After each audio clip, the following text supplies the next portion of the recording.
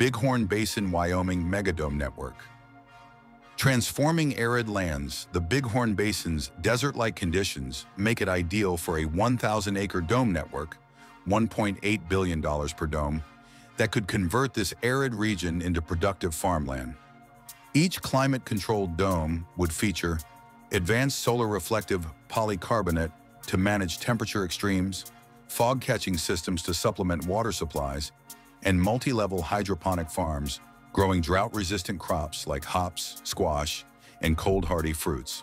A 400-dome network, 620 square miles, $720 billion, covering the basin's core, could produce 1.5 million plus tons of annual food while generating 6,000 megawatts through integrated solar wind systems.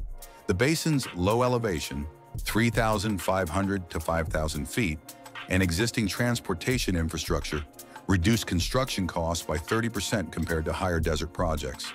Key innovations would include automated soil moisture monitoring, passive cooling architectures, and native pollinator habitats integrated into the dome structures. This network could potentially reverse desertification trends while creating a new agricultural hub in northern Wyoming, with costs potentially decreasing to $1.5 billion per dome through localized material production and robotic assembly systems.